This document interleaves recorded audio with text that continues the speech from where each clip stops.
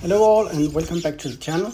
We're still in the middle of the summer and the birds are breeding both indoor and outdoor. Lots of nests, eggs and chicks all around and many chicks are fledging but I must be honest and say that not all is good. I still don't know the reason but I see many more blank eggs than I'm used to. And actually this goes for both indoor and outdoor breeding. But still this is a season I'm very proud of. A lot of very good results and new breeding for me. We don't have time to see it all today, but I'm still going to take you through a lot of the breeding results and breeding attempts so you can see what's good and what's not.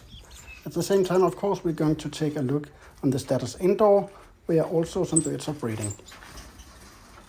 And then we take a short detour from the small birds to the cockatoos, which some of you may have seen I had an accident with. Looking forward to showing that. And as well, we're going to look at the budgies breeding a lot.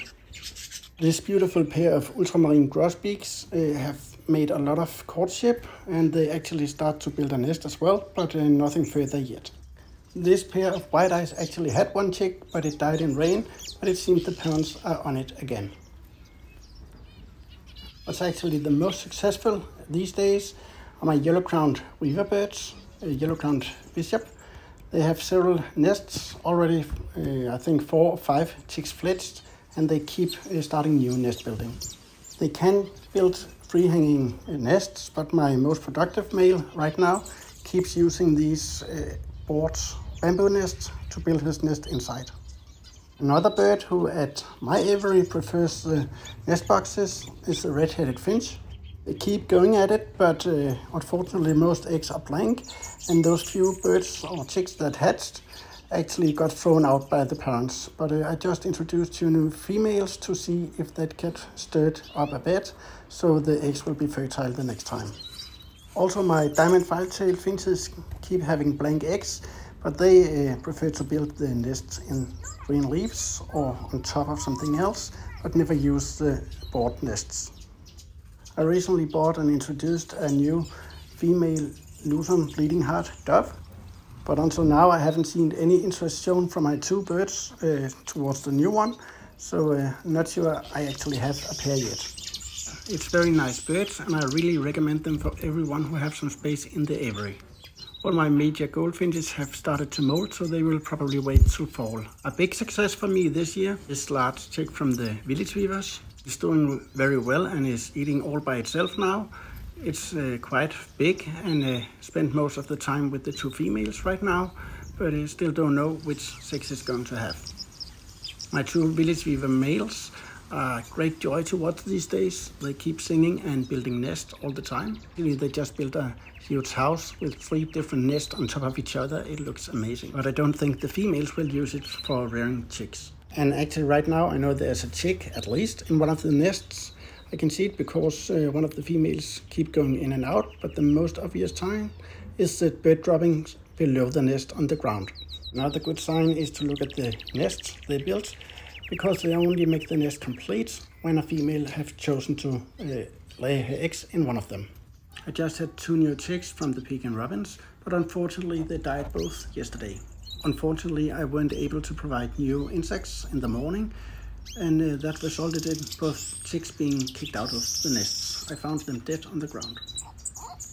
I experienced the same in the days around my father's death, as I weren't able to feed on a regular basis, meaning two to three times a day, and that resulted in several dead birds as well. This is really something you need to be aware of if you wish to breed and keep soft bills. Most insects and food we provide for the soft bills can't keep fresh for very long, so you need to provide several times a day. In this reason, the soft bills can feel high maintenance, but on every other way, they are quite easy to keep. But if you know you won't be able to provide fresh food several times a day, you should choose another bird to breed. When I found the two dead uh, Pekin robin chicks on the ground, I also found this blue egg, but I haven't been able to identify it. Besides the Pekin robin, the northern cardinal or red cardinal is one of my favorite soft bills been very lucky to breed them and have several chicks the last couple of years. But this year they only keep having blank eggs, but they are on the third attempt now, so fingers crossed again. I'm not completely sure, but at least four to five Pekin robin chicks have fledged, and they are all over the aviary now.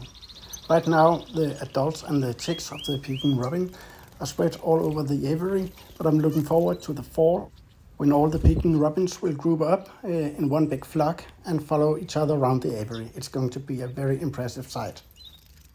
I have a flock of six starfinches in total in the aviary, but it seems unfortunately that I only have one female, and perhaps this is the main reason that no chicks fled the nest. Actually, I haven't seen any indication of it, but I have a hunch that some of the surplus males ruin the attempts of my breeding pair.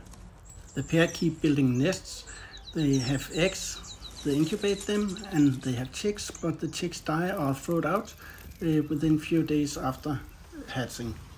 Right now they are on fertile eggs again, but I'm thinking about removing them or putting them to a pair of society finches to uh, be able to have some chicks.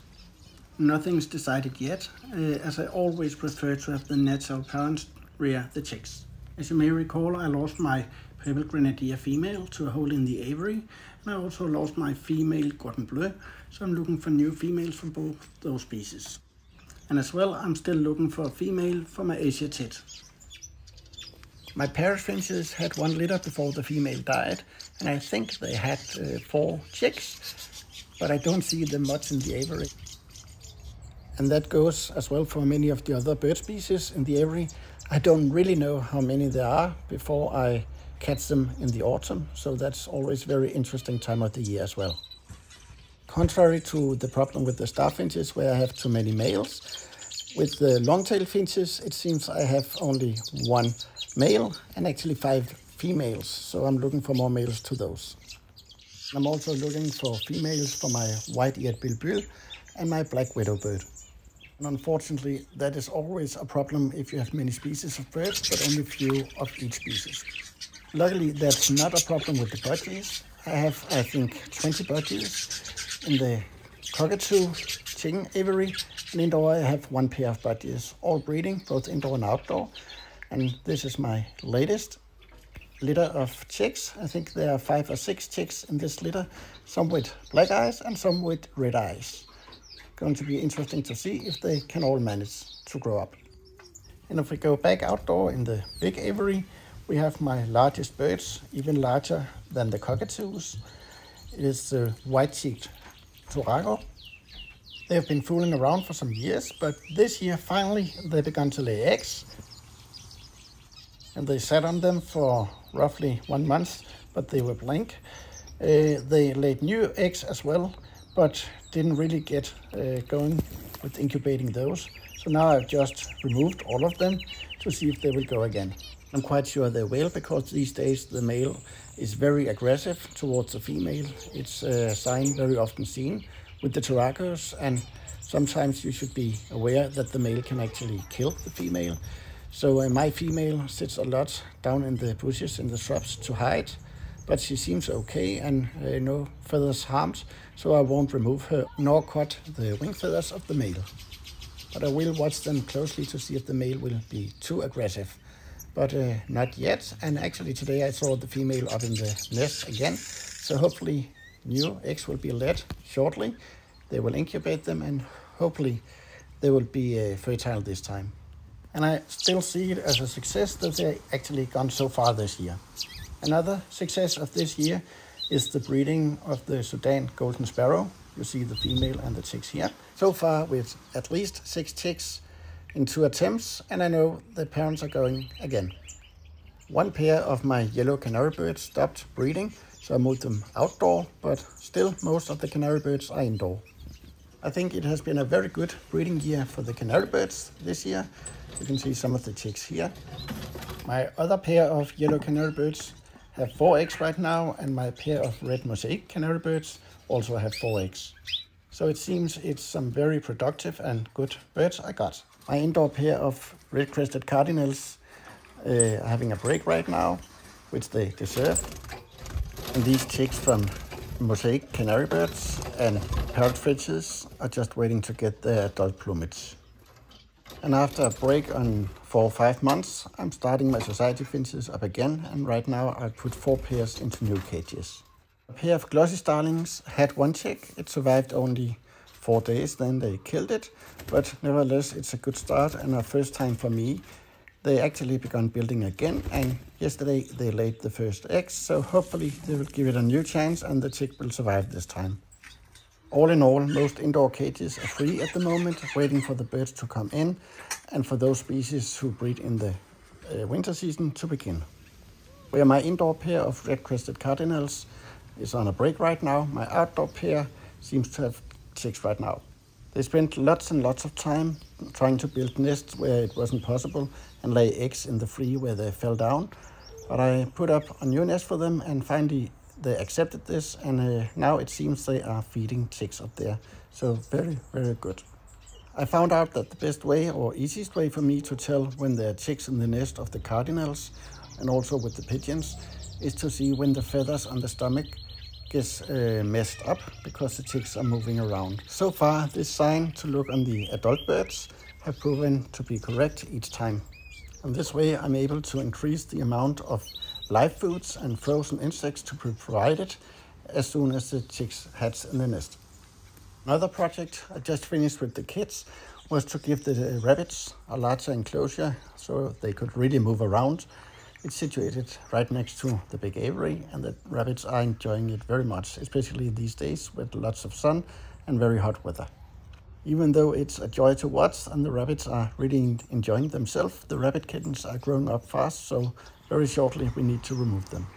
As some of you may have seen in another video, I had an accident with my cockatoos this meant that the female cockatoo escaped from my aviary and was nowhere to be seen. I began a big search and used both television and Facebook. And within three days, someone saw her in a tree four kilometers away and called me. When we arrived, I put a transport case on the grass and sat down and started to call her. And within 30 seconds or so, she landed just beside me on the grass and by herself walked into the cage. Very easy, and it was such a huge pleasure and relief for us. As we got back home, we introduced her to the male again in the aviary, and they were so happy to see each other. But what uh, was very interesting to see as well was that she really wanted to talk with me also, and not only with the male. But a very good story. Hopefully, this will never happen again. So as you can see, a lot is going on each day and each hour, actually. It's a very fascinating hobby, and I really love it. Some failures, but even more successes. All in all, a very good breeding season for me and the birds so far. In one of my next videos, I'll try to summarize which successes we've had so far, because it's actually quite a lot of chicks and a lot of first times for me, so it's very interesting.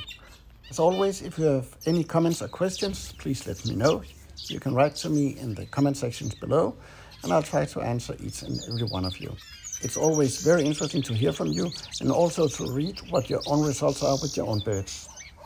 Thank you so much for watching and following and being part of this bird community. I hope you enjoyed the video. Take care. Bye.